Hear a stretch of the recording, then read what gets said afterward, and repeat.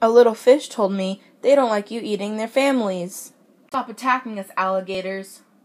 I'm not gonna let you keep attacking us.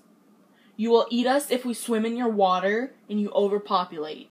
Vote for black bears. They're more intelligent and can survive in different places. This is President Black Bear, and I approve this message.